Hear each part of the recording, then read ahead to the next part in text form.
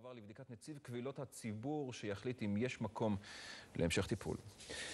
בואו נעבור לספורט. מתחת לחיוכים הגדולים של אנדי רם ויוני ארליך מסתתר גם המתח הגדול שיש לכל ספורטאי מקצועי, חרדות של ממש.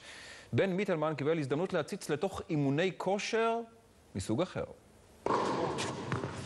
ידוע שבטניס המנצח הוא לא רק הטניסאי הטוב יותר, אלא גם החזק יותר מנטלית. ותחשוב על האפשרות של איזושהי תחושה של איום שנקלטה מאנשים שהיו מסביבך. כשאתה לבד על המגרש, מנהל קרב התשה של כמה שעות מול יריב לעיני אלפי צופים. בלתי אפשרי לברוח מההתמודדות עם חרדות ולחצים. אם זה מעצבן אותך, האם זה מאיים עליך.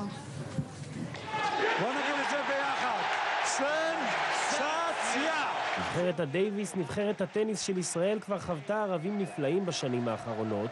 כעת היא ניצבת לפני קרב חדש מול נבחרת אוסטריה, והפעם השחקנים גייסו למשימה גם מומחית למצבי חרדה ונטרול מחסומים רגשיים. לא מדובר בטיפול פסיכולוגי, אלא בניסיון לחדור אל המערכת הרגשית בגופם של הספורטאים. שים פה, תחזיק חזק, אל תיתן לי להוריד.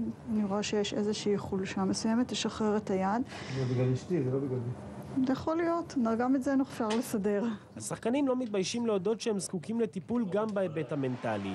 אפילו אנדי ויוני, שניים שכבר חוו כל כך הרבה בקריירה, מחפשים דרכים להתמודד עם הלחץ לפני המשחק שלהם בערב יום כיפור. לפני משחקים גדולים אתה מרגיש שאתה, פתאום שדברים בגוף לא, לא עובדים כמו שצריך, כואב לך פה, כואב לך שם פתאום, יש לך בבטן לפעמים פרפר, שאתה לא שולט בזה, יש דברים שאתה לא שולט בהם בגוף. אתה משחק בבית, זה עוד יותר, מול הקהל, אתה אף פעם אתה לא רוצה להיכשל, תמיד אתה רוצה לנצח, תמיד אתה חושב על איך תופיע מול הקהל, וזה בעיקרון החשש הגדול. לשום אופציה אתה לא אה, חלש, למשל על אפשרות של כישלון.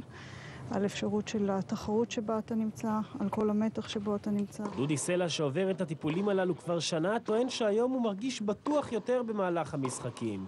החל מיום חמישי גם הקהל הישראלי יוכל להתרשם מהשלווה. והאמת היא, נדמה שגם ניצחון יכול להיות תרופה נהדרת נגד חרדות.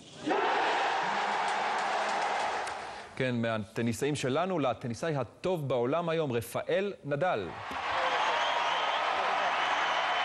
כן, כך זה נראה. הלילה הוא הסיר רשמית את הקללה שלו מהגרנד סלאם היחיד שבו לא זכה עד היום, אליפות ארצות הברית הפתוחה.